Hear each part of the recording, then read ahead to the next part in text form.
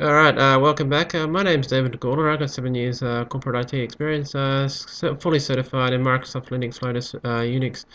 Uh, got an interest in VMware certification later this year and the MILE2 certification, which is a security um, certification as well.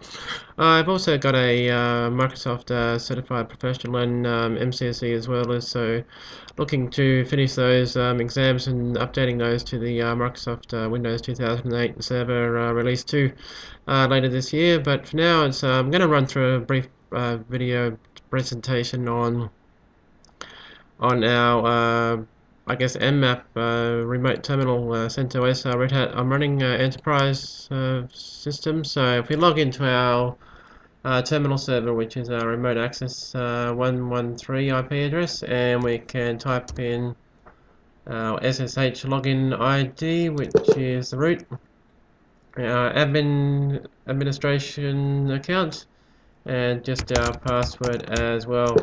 And now I can bring up our root directory, go cd space slash forward, uh, mmap, NA, nmap space a, or go for a double V actually, uh, double verbose mode. So this will allow you to uh, get extra information about the server that you're uh, scanning or hosts that you're scanning. And a bit of luck, um, it will pick something up. A dash A, I believe, is scanned for a OS version. Uh, it'll try and detect what uh, operating system you're using, like Windows uh, 7, Windows Vista, or um, anything else that's in there. Uh, also, I use commonly use the dash pn uh, pn uh, command switch. I guess it's for connectionless space scanning. So it already assumes that you're going to connect, and the IP address is turned on and valid uh, it'll connect even without checking. I guess that's a good way to um, explain that.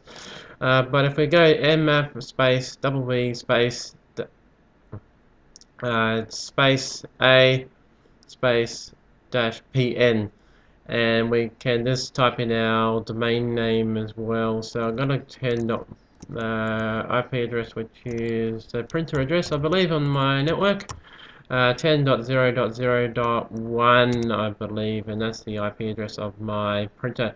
So this is going to scan and pick up whatever is possible uh, ports uh, operating system version and other uh, useful information about the printer. And a bit of luck then we can determine what this IP address is attached to. Uh, so we're scanning our nmap-v uh, dash capital A space dash capital PN space 10.0.0.1 and this will scan double reverse mode, detect operating system in a connectionless, already assume that it's connected mode. Uh, press enter on this in the Linux uh, Red Hat uh, Enterprise version. And as you can see, it's uh, uh, starting the scan and trying to scan every port on 10.0.0.1 uh, thousand ports is trying to scan. If you wanted to uh, scan multiple ports uh, for example you could just use the oh sorry um, all the ports on the network uh, 65 65,000 odd ports there are available on the network ports uh, list.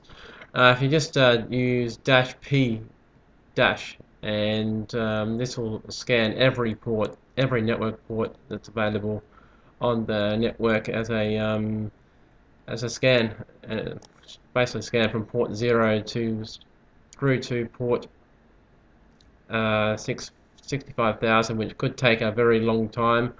And in most times I've found that your uh, network actually blocks it or uh, just times out because simply because it takes too long or you lose interest sometimes um, but you can write it out to a file and just leave it running uh, for a few hours in the afternoon or overnight. So it really depends on how patient you are and really what you want to find on the network. But generally the common ports are from port 0 to port uh, 1024. So I guess it really really depends on your patience and what, what really you're looking for on the network. Um, some of the assumed ports are, I guess, uh, port 21 for an FTP uh, port 25 which is for mail, uh, 110 is uh, mail again with for POP3. Uh, if you go to, to, to, port 23, for example, that would be a secure shell SSH, uh, for example. Um, but there's a lot of other ports on there, so just really, and the, I guess the most um, commonly used one is uh, port 80, which is a web server.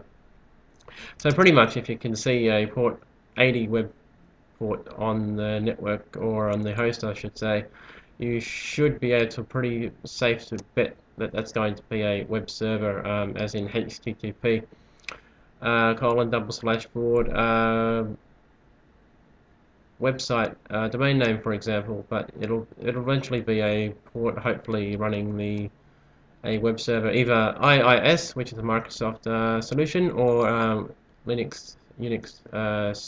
Uh, I guess it's Apache now, uh, but it's still scanning on my um, network. So scanning 0, 10.0.0.1 1000 ports.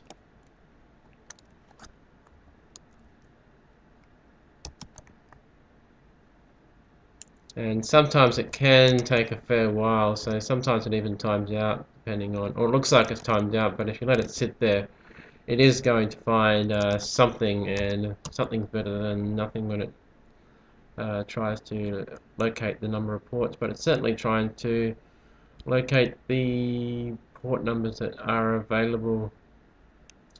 It just basically says uh, completing um, or trying to complete a host uh, scan which has got one host up and it's recognized that this uh, port is or host IP address is up and it's trying to still locate the number of ports that are open on this host.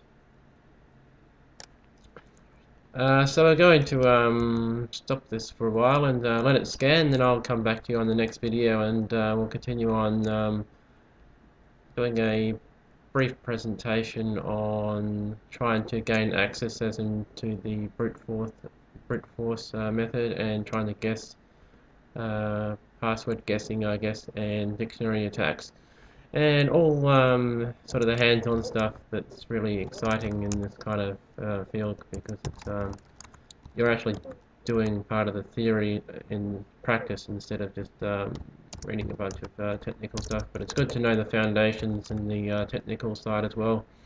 So let's see what we can do with the uh, nmap scan we're trying to perform on our network. It's still scanning to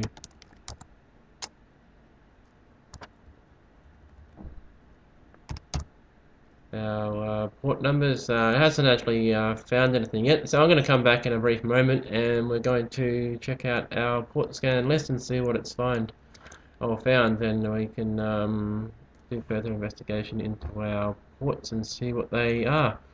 Uh, back in a moment and hope to hear from you soon. Thanks for viewing. Have a nice day.